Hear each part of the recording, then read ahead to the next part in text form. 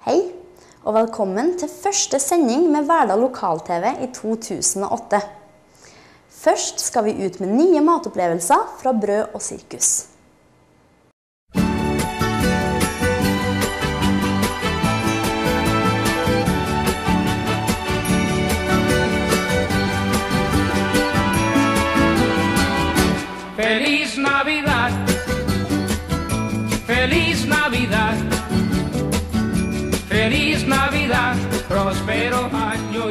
Ja, da er vi fra kjøkkenet igjen, da, vet du. Griller et andebryst i dag. Det er noe av det jeg forbinder mest med førjulsmeny. Førjulsmat er and. Andebryst er faktisk noe av det beste jeg får. Det jeg tror ikke jeg vet av noe som er mye bedre enn det. Jon Philip eh, står og ruter fetta på andebrystet. Eh, det er Vi har bruker bare brystene i dag, og oppå brystet så ligger et eh, fettlag. Anna er feit og god. Eh, og det fettet er liksom det som gjør på en måte anda. Her har dere. Det er godt ruta. Sånn passelig små ruter. Pass på at eh, at de ikke blir for store. Kan du bare sette på panna, du, Philip. Til anda i dag så skal vi ha pylinser. Vi skal ha glasert gulrot, og vi skal ha franske små poteter. Heter amadinepotet. Og vi skal ha en rødvin- og portvinssaus.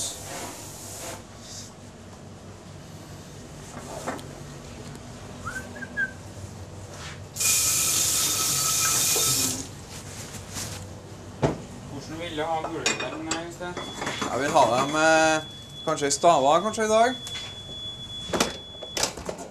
Stava er ok.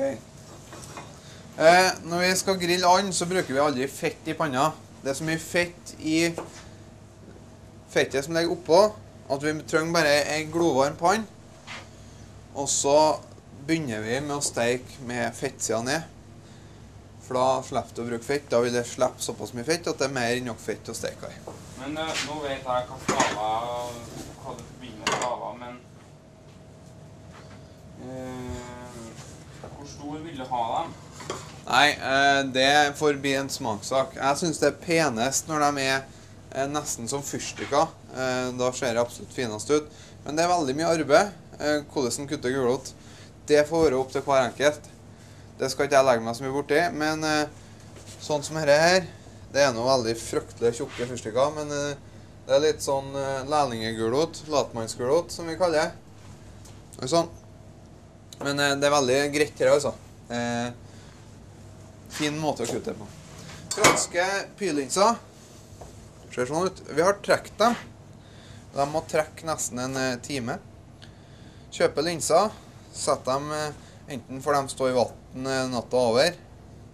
Da er det viktig å køle av det vannet de har stått i. Likeens som når vi lager ertestuing. Eh, og så er det kok.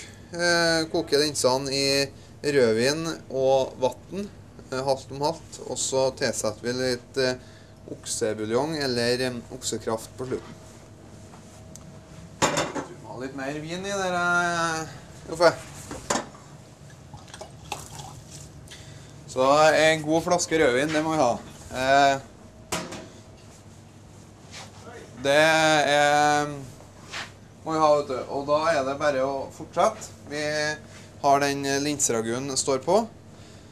Så kan vi begynne å grille andene. Nå ser vi det ryker godt av panna. Det er et godt tegn. Anda med fettsida ned.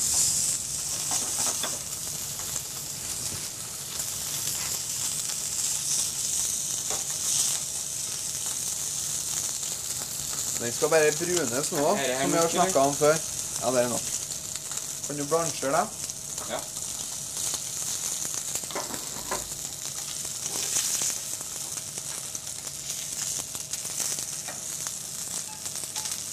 Snur vi, så ser du at du får den fine, gylne, brune fargen. Og da ser du hvor mye fett som har sluppet nedi panna. Jeg lærer meg en liten regel når det gjelder eh, gulrotplassering. Ja. er å dekke potten med vann. Og så godt med smør. Stemmer det. Der er jo en på slanking, så er jo ikke det det optimale. Men eh, hvis en skal lage en skikkelig god middag, så er det måten å gjøre på det. Trenger ikke bestandig en full kjel full av vann for å, for å få til det. Tar av vannrøstet. det skal i ovnen. Eh, salt og pepper. Salter begge sidene. Pepper og begge sidene. Et såpass stort andebryst som dette her må nesten ha ti minutter i ovnen.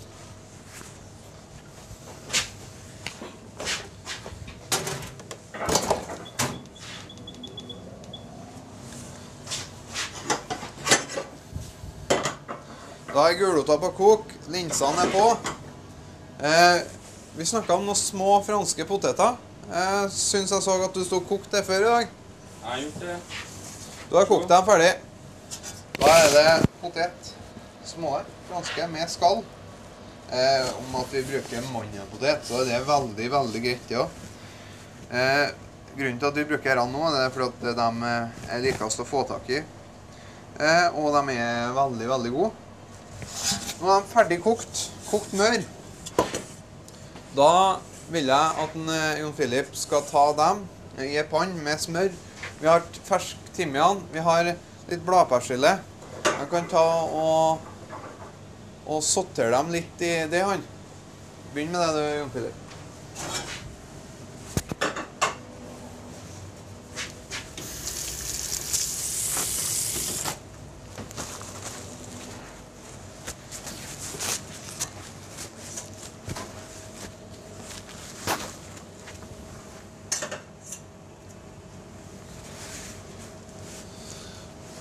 Glasert gulrot. Du kan bruke sukker, du kan bruke eh, honning. Du kan bruke eh, I dag tenkte vi å bruke sirup. Engelsk sirup i dag. Eh, har oppi en god dæsj.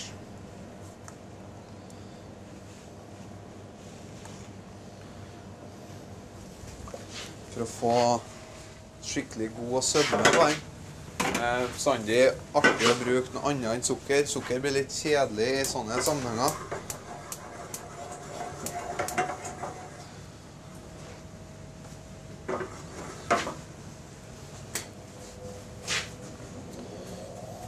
Så var det en portvin og rødvinssaus. Eh, der er som eh, For en stund siden, når vi laga hjort, så forklarte jeg litt måten å gjøre på. Da brukte vi òg den eh, karamell og rødvin, oksekraft. I dag så har vi kjørt den med en eh, mørkere karamell. Vi skal ha mer smak. Eh, Anna er kraftigere på smak. Vi bruker en kraftig rødvin, bruker mer smak i rødvin. Og vi bruker portvin. Ikke fullt så mye portvin, men lite grann. Eh, hvis vi har en tredjedel med portvin og to tredjedeler med rødvin, er det det optimale. For da får du den eh, beste smaken ut av det, og det blir ikke for mye. Det blir ikke for mye portvin. For portvin eh, blir oppfatta som litt eh, klassete og søtt i mat. Så vi må passe på sånn at det ikke blir vel mye. Så er det det med den kraftige karamellen i tillegg som gjør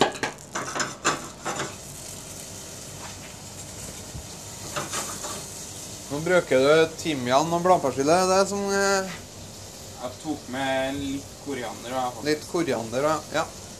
Spesielt, men det var. Nei, koriander er fint. Poteten eh, går oppi.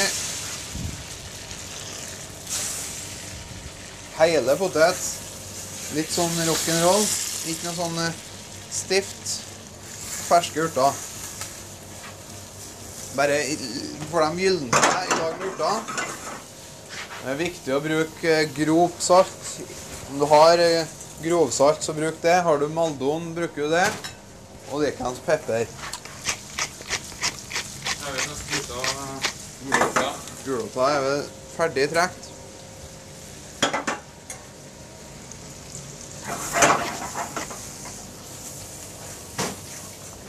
skal vi begynne å gjøre oss klar til å. Legge, vi. Ja, fint. Anna må ha litt mer tid. Poteten har nå ligget i urta og litt mer bare kosa seg. Vi har nesten skrudd av varmen, så det har bare ligget og kosa seg. Eh, sånn som dette er skikkelig tøft og veldig godt. Serveres med godt med salt. De er skikkelig gode og salt.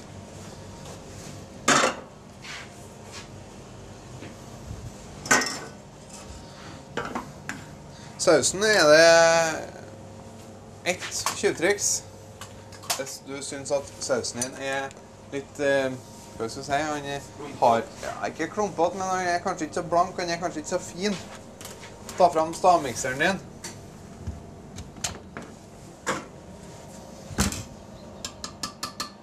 Lærte av eh, min kjøkkensjef i de gode gamle dager at når vi skulle lage en god saus, så måtte den bestandig være i stavmikseren først. Kjør den på stavmikser.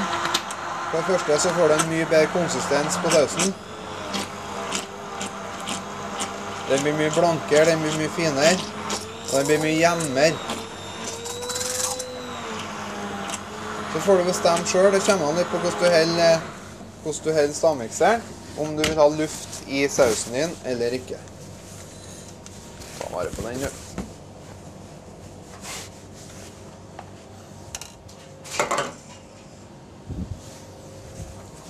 Da er vel straks ferdig, tenker jeg. Eh.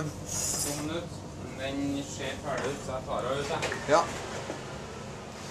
Nå har anda stått i åtte og et halvt, ni minutter. Eh, og da er den eh, så godt som ferdig. Vi har en tommelfingerregel. Vi skal vise av den.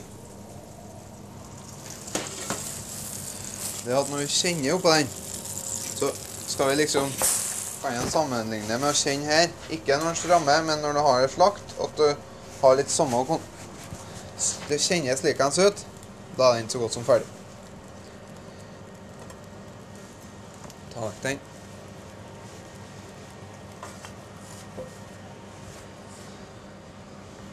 Den bør få ligge og hvile litt, så vi tar og legger opp eh, resten av grønnsakene mens vi venter. Begynner med gulrot. Den er glasert i smør og sirup. Brukt engelsk sirup, men vi. Du ser at her er det masse godt nedi.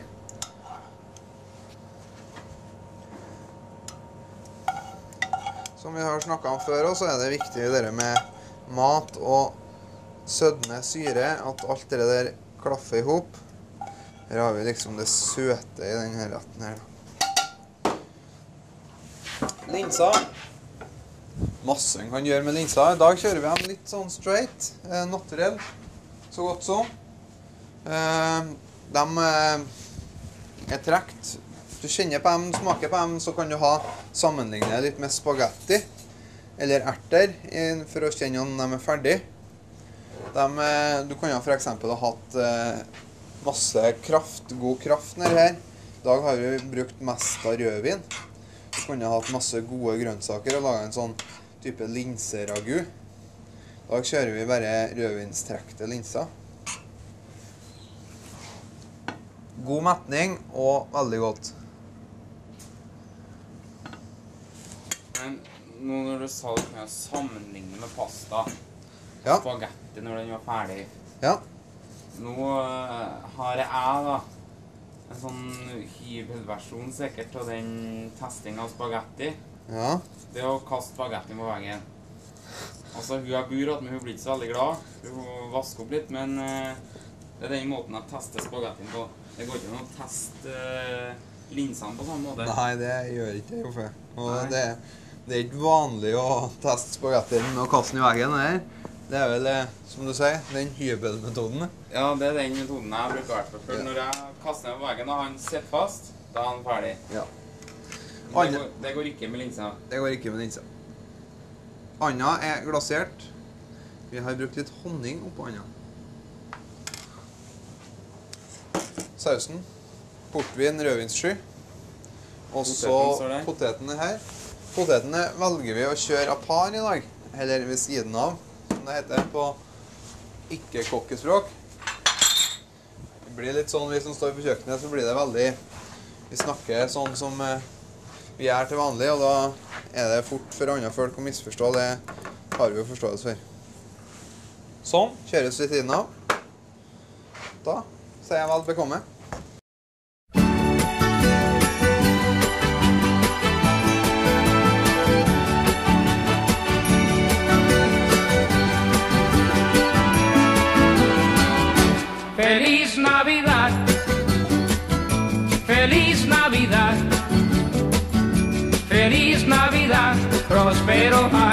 Felicidad.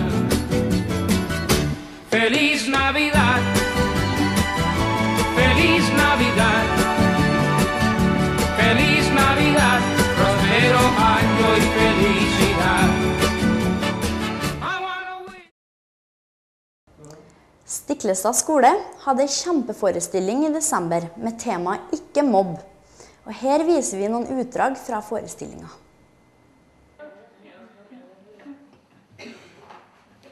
Neimen, ikke lærerens lille skolelys.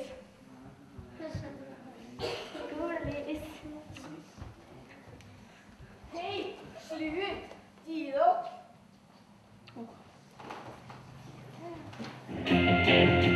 Favoritt,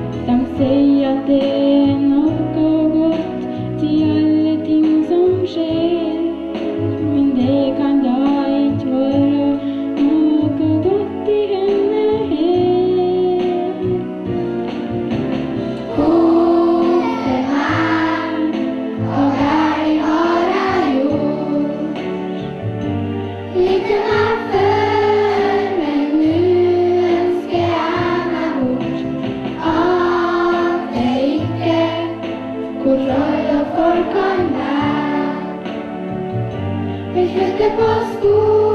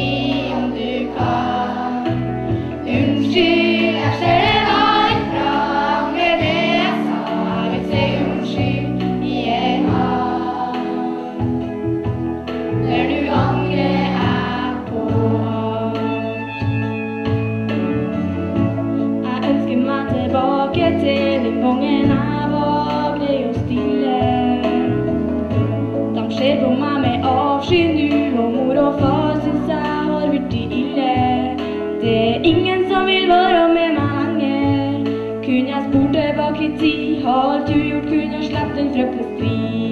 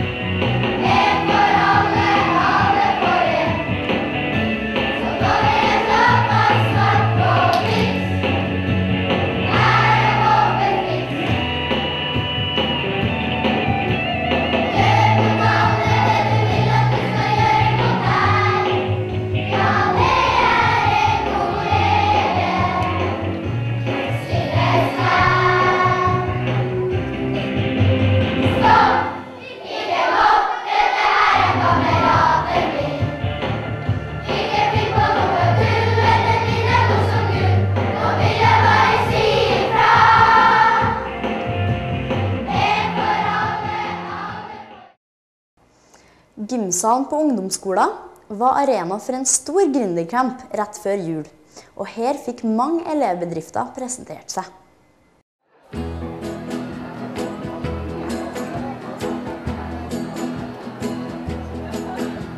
There goes an old love, the keeper of my heart.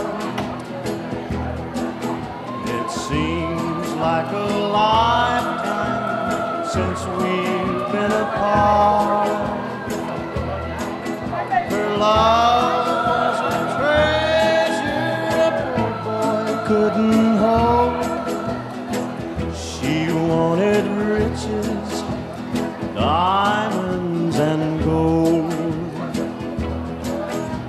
She wanted riches, diamonds and gold. Taught her to love and she taught me to cry. Then I learned to smile with a tear in my eye. I offered her true love as long as I'd live, but she wanted more than a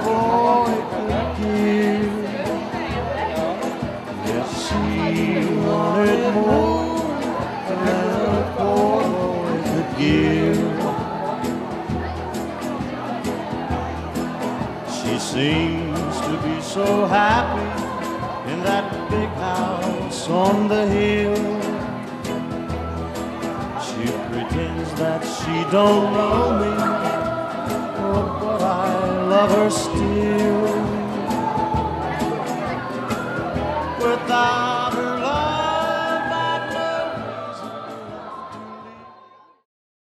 Ungt entreprenørskap, eh, hva er det for noe? Ungt entreprenørskap det er skolen i møte med bedrifter i Verdal. Eh, Der eh, her nå eh, elevene har fått en utfordring fra fire bedrifter. Tine Meierier, det er Aluriab, det er Nordsjøvenir og Langnes og Bakka. Hva kan du fortelle om det som skjer inne i lokalet bak deg? Ja, Bak i lokalet her så har vi nå 27 grupper som har eh, tatt fatt i hver sin problemstilling, eh, fra bedriftene.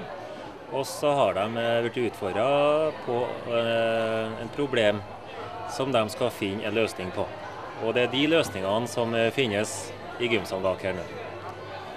Og hva kan du fortelle om de utfordringene de har fått? Jo, det har jo ganske vidt spekter fra å jobbe med data, uten data. Det er rullestoler, trapper, eh, det er suvenirer.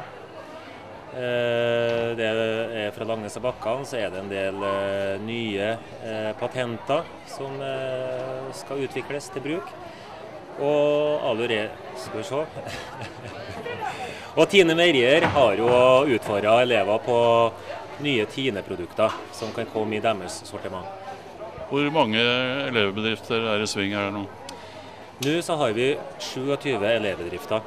Eh, av 116 elever i 9. trinnet så har vi nesten alle i aksjon bak her. Hvordan eh, opplever du interessen blant elevene når det gjelder eh, ungt entreprenørskap? elevene har vært i full vigør nå i litt over en uke. Og vi har virkelig fått utnytta alle de krokene vi har på skolen av grupperom og teamrom, klasserom, tekst, tekstil og forming, sløyd, data. Så det har vært veldig stor aktivitet. Og kanskje noen ganger at vi føler litt kaos i dette, men det er litt for oss lærerne å kunne slippe elevene litt fri. Ja. Det skal deles ut noen priser over, så jeg. Kan du røpe noe der, eller? Ja, vi har jo en fagjury bestående av uh, Ungt Entreprenørskap ved Holger Thorseth. Og så har vi fire representanter fra de bedriftene som skal ta fatt i de fire prisene. Uh, vi som lærere har ikke gått inn i vurderinga av de- dem.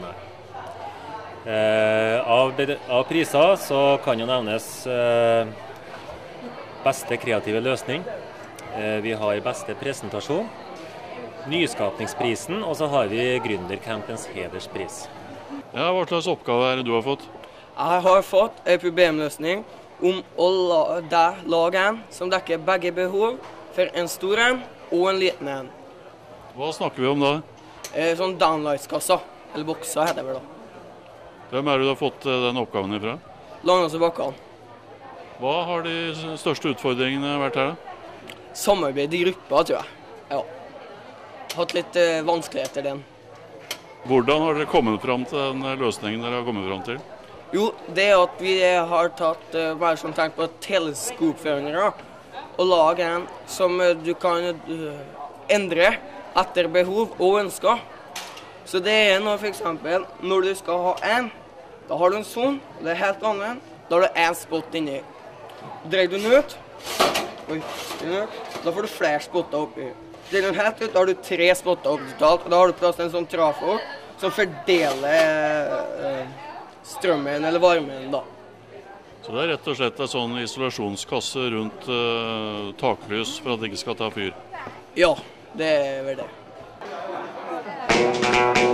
In a pub in Brittany, I had me a drink or three. I can vaguely recall a pretty girl was standing there. through my hair.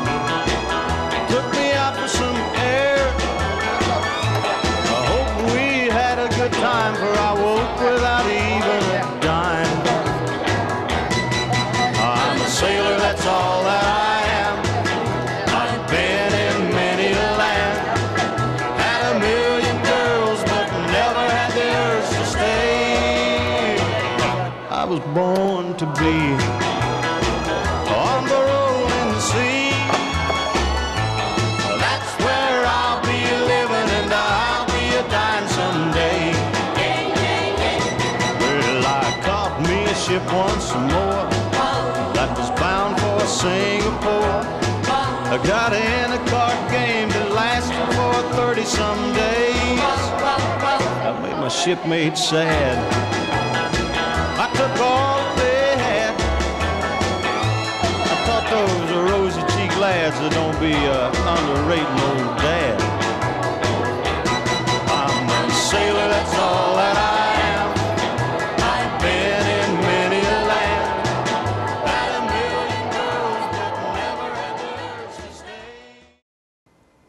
Det var det vi hadde denne vekka, og tips oss gjerne om ting som skjer i hverdagen.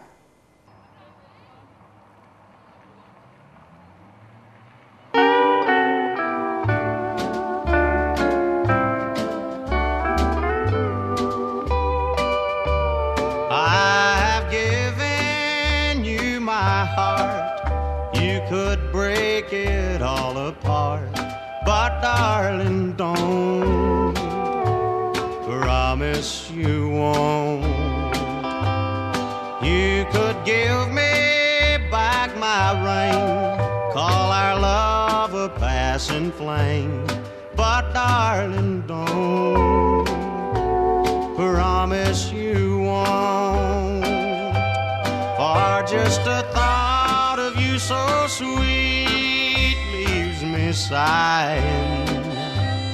Yeah, just a thought that you would cheat leaves me crying. You could end our love affair just by saying you don't care. But darling, don't promise you won't.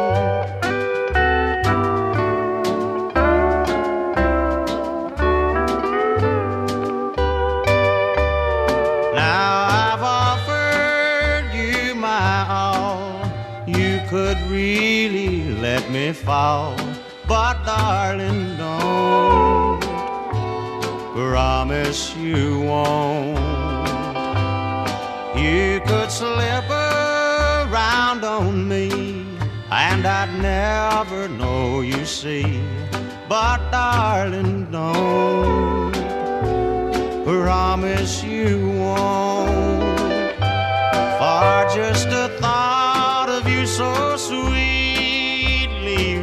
Sighing.